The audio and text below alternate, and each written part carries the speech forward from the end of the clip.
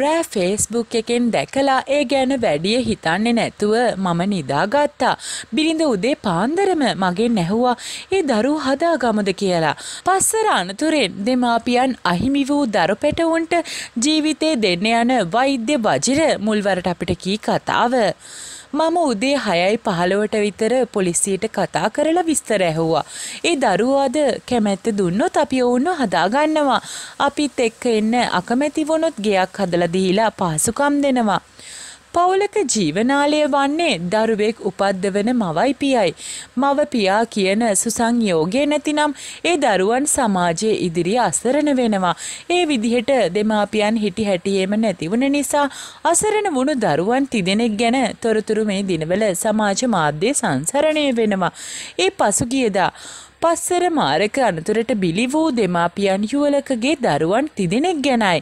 මවයි පියයි නැතිව අසරණ වුණු මේ දරු පැටව් තිදෙනා තමන්ගේම දරුවන් ලෙස හදාගන්න මේ වෙද්දී වෛද්‍යවරයෙක් ඉදිරිපත් වෙලා ඉන්නවා. ඒ අම්පාර වසංගත රෝග විශේෂඥ වෛද්‍ය වජිර රාජපක්ෂයි.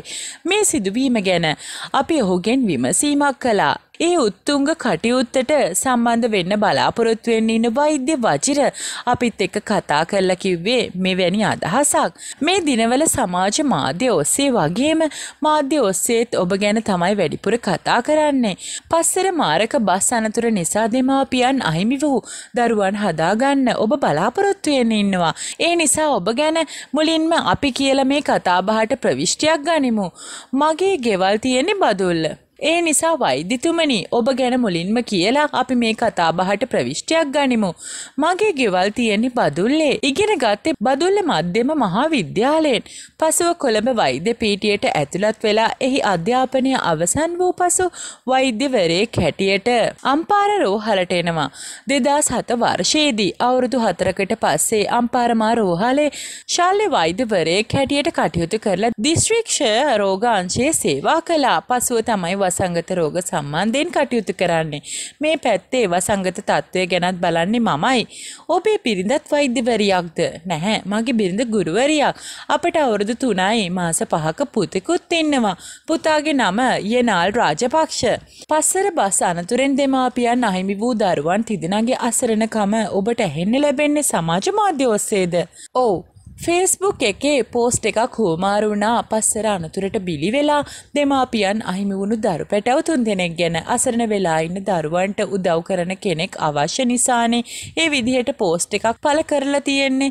ඒක මම දැක්කේ විසි හතර වෙනිද රෑ. ඒක කියවලා පව් කියලා මට හිතුණා. නමුත් මංමගේ බිරිඳටවත් ඒ ගැන කිව්වේ නැහැ. ඒ වෙලාවෙ කිසිම සිතුවිල්ලක් හිතේ නොතිබ්බ නිසා මම රෑ නිදාගෙන උදේ නැකිට්ටා මගේ බිරිඳ ඒ පෝස්ට් එක දැකලා සිද්ධිය ගැන මට කියලා කම්පා වුණා. මගේ බිරිඳ මට එක පාරටම කිව්වා මේ බබාලා තුන් දෙනා තනි වෙලා ඉන්නේ. අපි හදාගන්න ගමුද කියලා. ඒත් එක්කම මම අර දරුවන්ගේ ෆොටෝ එක ඩවුන්ලෝඩ් කරලා නැවත බැලුවා. ඒක දැක්කම මට ඒ දරුවන් ගැන අනුකම්පාවක් නෙමෙයි ආදරයක් ඉපදුනා. දරුවා හරිම හුරු බුහුටි. ඒ මොහොතේ තමයි මම තීරණය කරේ ඒ දරුවන් හදා වඩාගෙන ඒ දරුවන්ට අපි දෙමාපියන් වුණොත් හොඳයි කියලා. ඔබට දරුවෙක් ඉන්නවා. පිට දරුවන් තිදෙනෙක් හදාගන්නවා කියන්නේ වගකීමක්. මේ දරුවෝ හදාගන්න ඕන කියන සිතුවිල්ල ආ ගමන්ම මම තීරණය කළා ඉවරයි අවසර ලැබුණොත් හා දරුවන්ගේ කැමැත්ත තිබ්බොත් මම දරුවන්ව හදාගන්නවා කියලා. මගේ බිරිඳ නීතිමය පැත්තෙන් අපට අවසර ලැබෙයිද දන්නේ නැහැ නේද කියලා මගෙන් ඇහුවා. එතකොට වෙලාව උදේ 6යි 15ට විතර ඇති. මං ඒ වෙලාවෙම පොලිසියට කතා කළා. පසුව අම්පාර දිසාපතිතුමාටත් කතා කළා. එතුමා මගේ ඇමතුමට ඒ වෙලාවේ සම්බන්ධ වුණේ නැහැ. විනාඩි 15කට විතර පස්සේ එතුමා මට කෝල් කරා. මම මගේ අදහස එතුමාට කතා කරලා අවශ්‍ය පසුබිම හදලා දෙන්න කියලා එතුමගෙන් ඉල්ලීමක් කළා. මේ වෙද්දි ඊට අවශ්‍ය පසුබිම් සකස් වෙමින් තියෙනවා. මට දරුවෙක් ඉන්නවා. දරුවා හදාගන්න ඕනේ කියලා කලින් හිතලා තිබ්බේ නැහැ. දරුවෙක් ඉන්න නිසා නමුත් මට මේ දරුවන්ට පිහිට වෙන්න ඕනේ කියලා හිතුණා. ඒක වගකීමක් තමයි. නමුත් ඒ වගකීම ඉටු කරන්න මට හැකියාව තියෙනවා. ඒ නිසා තමයි මේ වගකීම මම බාර ගන්න සූදානම්ෙන් ඉන්නේ. ඔබේ ගැන සඳහන් කරමින් මුහුණු පොතේ සටහනක් තබන්නේ කාගෙත් අවධානය ඔබ වෙත නැඹුරු කරගන්නද? අවධානය ගන්න කිසිම හේතුවක් නැහැ. අවධානයක් මොකටද? නමුත් සමාජ මාධ්‍ය ඔස්සේ ප්‍රශ්න මතුවුණා නම් සමාජ මාධ්‍ය ඔස්සේම තමයි උත්තර තියෙන්නත් ඕන. ඒ නිසා තමයි මම මගේ කැමැත්ත කියලා මේ Facebook එකේ සටහනක් තිබ්බේ. ඊට බොහෝ දෙනෙක් ප්‍රතිචාර දක්වලා තිබ්බා. බොහෝ දෙනෙක් කතා කරලා කිව්වා උදව් කරන්නම් කියලා. ඒ දරුවන්ව වෙන වෙන වශයෙන් හදාගන්න හැකි බවට පවසමින් ඔබට ඇමතුම් ආවා කියන කතාව ඇත්තක්ද? ඔව්. මගේ Facebook පෝස්ට් එක දැකලා බොහෝ දෙනෙක් ප්‍රශංසා කරලා තිබ්බා. ඒ වගේම කිහිප දෙනෙක් මාත් එක්ක කතා කරලා එක දරුවෙක්ව හදාගන්න දෙන්න පුළුවන්ද කියලා ඇහුවා. මම ඒකට විරුද්ධයි. මොකද දරුවෝ තුන්දෙනා එකට ඉන්න ඕන. එකට හැදී වැඩෙන්න ඕන. ඒ අරමුණ නිසා මම දරුවන්ව බාරගන්න තීරණය කරේ. දෙමාපියන් නැතිව අසරණ වෙලා ඉන්න දරුවන්ව වෙන් කරන එක අපරාධයක්. පවක්. දෙමාපියන් නැති අඩු අඩු තරමින් අඩු වෙයි දරුවෝ තුන්දෙනා එකට හිටියොත්. ඒ නිසා දරුවෝ හදාගන්නව නම් මමම තුන්දෙනාම හදාගන්නවා.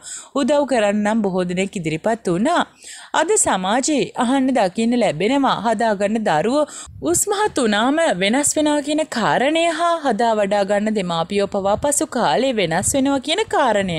මම මේ දරුවෝ තුන්දෙනාව හදාගන්න ගත්තොත් සම්පූර්ණ වගකීම් මම ගන්නවා. අතර මගදී දරුවන්ට කරදරයක් වෙන්නේ නැහැ.